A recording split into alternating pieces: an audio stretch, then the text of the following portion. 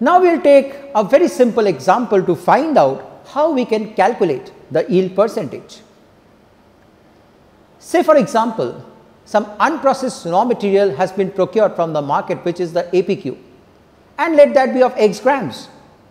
Now after it has undergone all the process and it has been served on the platter of the guest, let it be of y grams.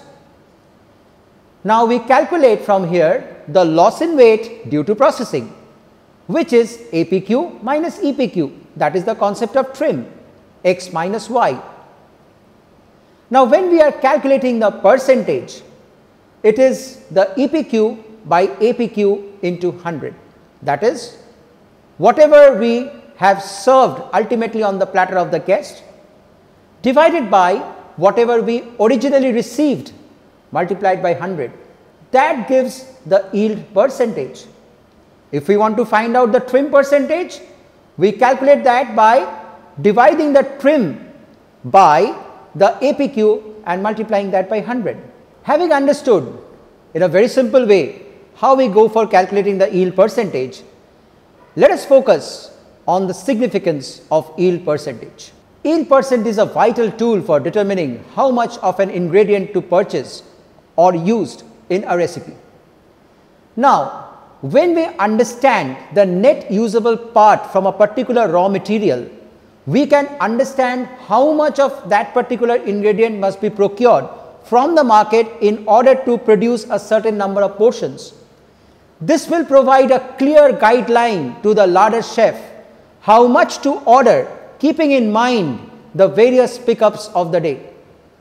When I say various pickups of the day, I mean the extent of the a la carte orders, the banquets and the allied areas. Calculating yield percentage is critical to placing an accurate food order.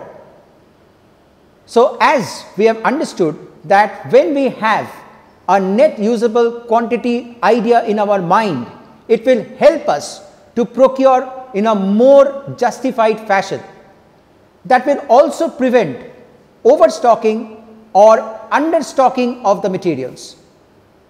And at the same time, we can also find out what is the maximum number of servings that a purchased amount will yield. Let us understand this part in a little bit more details. When we say that an optimum level should be ordered, we understand that the chef must have a clear idea regarding how much portion of food can be taken out from what quantity of the raw material and that clear picture can be given by a proper yield percentage only. Yield also helps us to determine the maximum number of servings that a purchased amount will yield. If suppose we have gone for the purchase of a certain quantity of meat, yield percentage will clearly tell me how many portions I can serve from that particular product which has been purchased. Why? Because the standard recipe specifies the amount of food to be served per portion. This also helps in the very important factor of recipe costing. When we are very much sure, when the larder is very much sure about the total cost of the raw material which is going into the production of a certain dish, the recipe costing can be done in a more effective way where it helps to maintain a proper profit percentage and at the same time it gives benefit of cost to the customer as well. Determining the yield percentage of the recipes in advance will lead to greater efficiencies and a more productive operation. When we say productive operation, we mean a more cost oriented operation where there is cost saving and expenditures are kept to a minimum level and optimum level rather without affecting the final product or the quality of the final product. And finally, when we go for yield tests, we can also have an insight into the level of skill which the manpower possesses. As we have discussed with you while we have been talking with you regarding the pre-cooking yield or the butcher's yield, an efficient hand will definitely lead to much less trims being coming out. But if the hand is not up to the mark still, it can be clearly understood the extent of the training which is required to be given to that particular personnel to ensure that the person is ready to take out the standard yield. We have already seen previously in this session how we can go for the yield calculations, how we can go for the butcher's yield calculation. Now, over here we have got a chicken the way it has been procured from the market. So, we can say that this is the purchase weight. We are going to go for the weight of this particular bird and that will be our purchase weight. So, let us see what the as purchase weight is. I am going to take the reading of the weight. The as purchase weight is 987 grams. We have seen that the purchase weight is 987 grams. Now, the first operation which has been done is the deskinning of the carcass. So, let us now weigh the carcass again and see what is the weight now.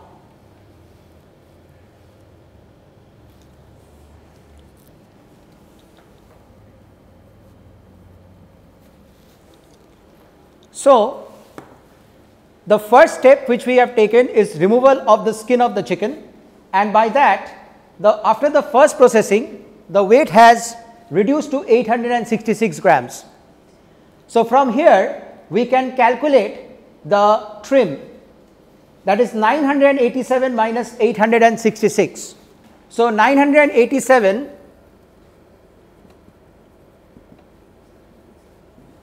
minus 866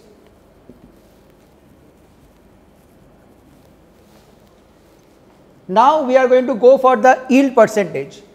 So, my purchase weight was this, my process weight is this. So, I am getting this one as my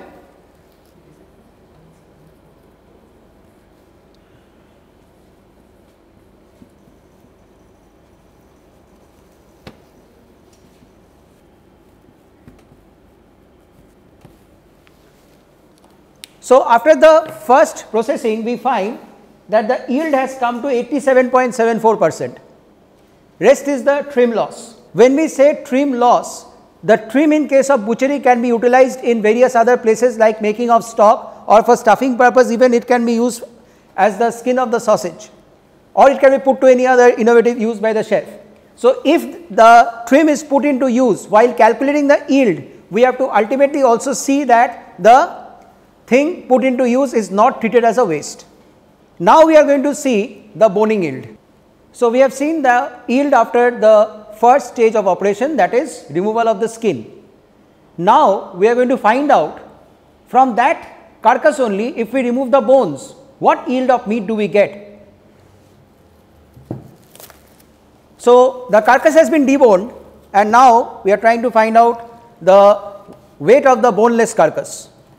So, I have taken the reading it is coming to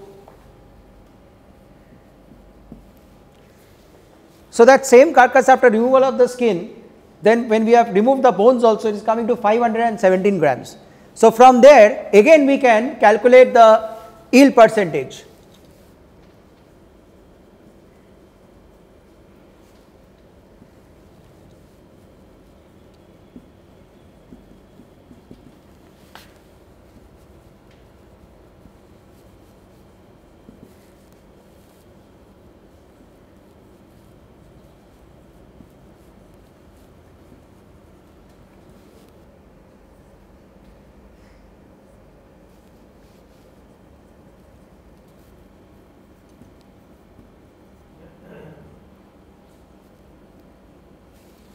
So, we find that after the bones have been removed from the carcass, we get 517 grams of boneless chicken and when we calculate the yield out of it, it comes to 52.38 percent.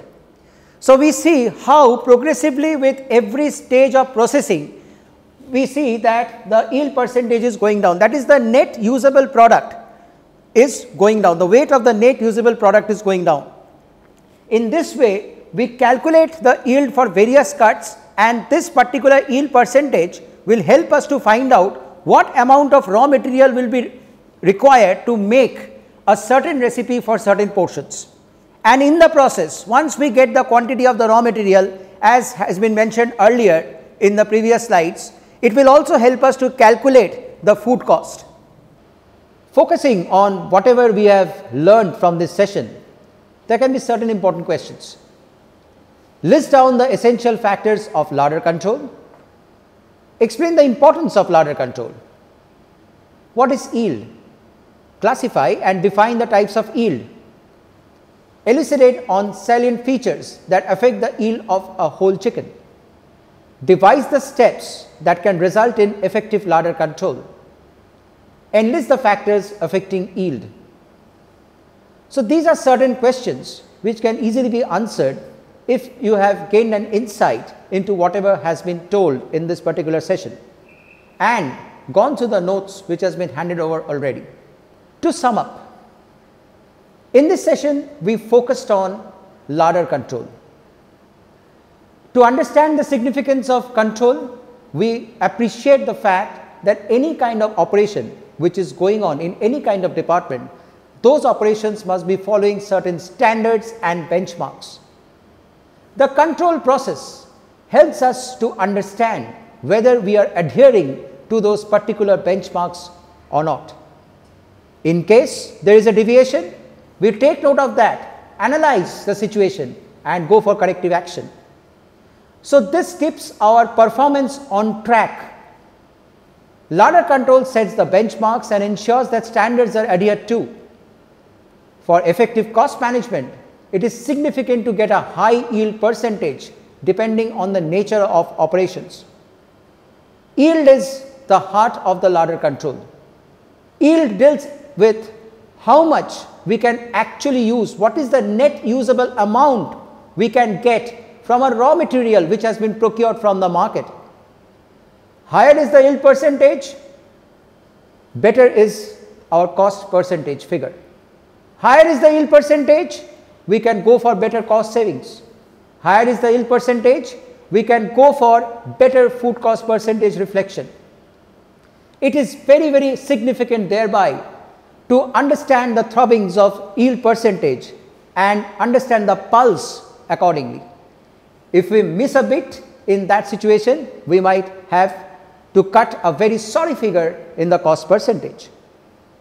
Larder control must be given due importance and it checks the operational and financial aspects related to the section. We maintain the records, we maintain the daily cost sheet, we maintain the daily ordering schedules and at the same time we see what we have procured for the day and what output we have generated for the day. When we have a synergy, larder control is a great success and the food cost is maintained at the required optimum level satisfying the benchmark.